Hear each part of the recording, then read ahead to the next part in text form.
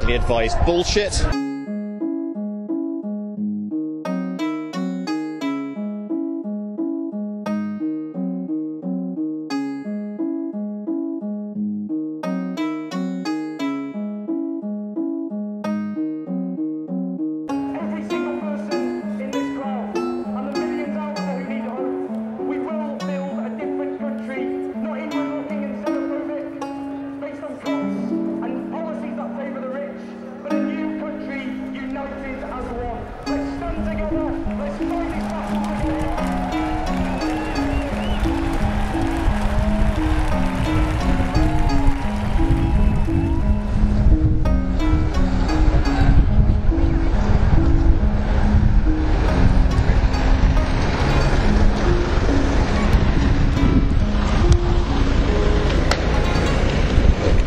Hello. A strange uh, Rolls Royce or whatever, Bentley or whatever that is up there. I'm on uh, Birdcage Walk, which is um, just round the back of the Treasury. And uh, there's a little bit of something going on up here. Um, I bet you thought I was having another one of my uh, little vacations and you weren't going to see me for six months. Where's Sam's videos? Lots of people have been messaging me saying, "Where are you? We want to know what you what you think now that the referendum has happened." And uh, I've been moving house, so I had to disassemble my computer and reassemble everything, which is more or less reassembled now, so it should be okay. So, uh, but I got a little bit of time today on what is essentially supposed to be a, ru- uh, a lunch hour to possibly just show you what on earth is happening here. A lot of people were saying after the referendum that, you know, it was a really good example of, uh, you know, democracy in action, you know, a, a Britain, you know, very democratic country, really involved in a, a proper, the proper execution of a political process in democracy. But of course, a lot of people ended up not very happy that the vote uh, went to the out campaign. And so what they've done is they've carried on campaigning and uh, they're wanting maybe a, a second referendum.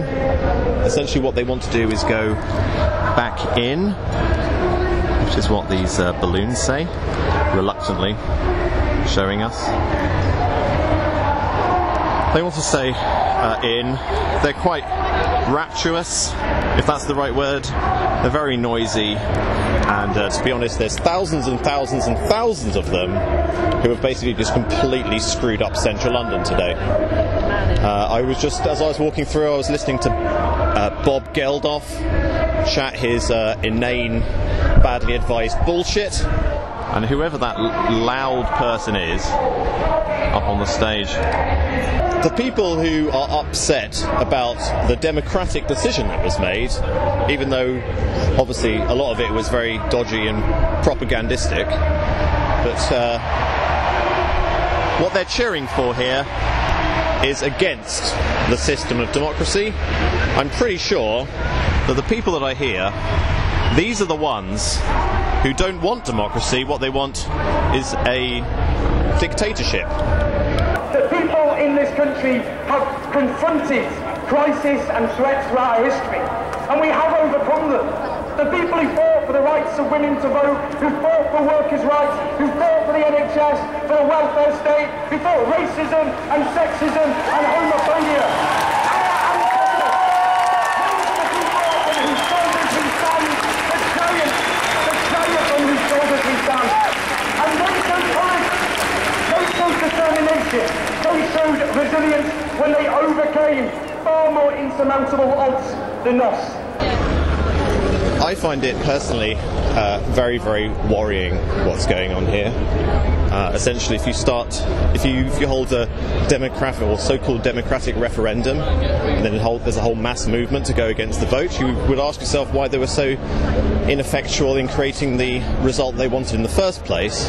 And to me, looking at all these like basically young university students who are like Owen Jones up on top of the uh, the stage there, you know, basically radicalized into a kind of socialist Marxist, uh, authoritarian social justice warrior kind of thing.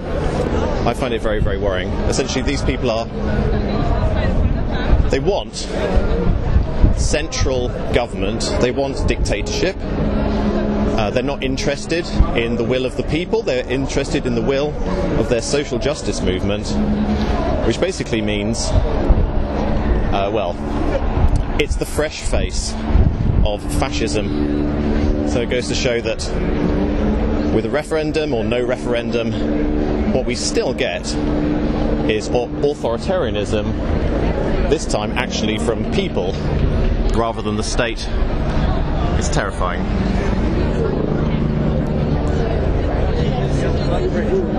More videos to come.